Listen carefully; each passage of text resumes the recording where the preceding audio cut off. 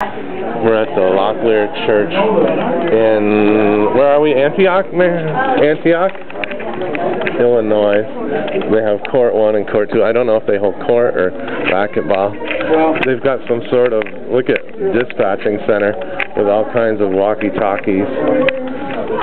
The mass was nice. There is, it's kind of like the Nazarene church that Cassandra attends. But Look at this. Would you take a look at this? Take a look at this. There's recreation, basketball court, cafe. This girl was at the wedding yesterday. Oh, another court. Basketball court.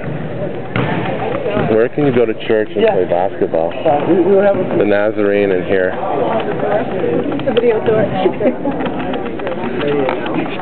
There's a cafe even. So, they do it big in Illinois. Alrighty for now, there's our family. Michelle, Katja, Nick, Aaron, and Janet. So, that's the tour. They got water fountains.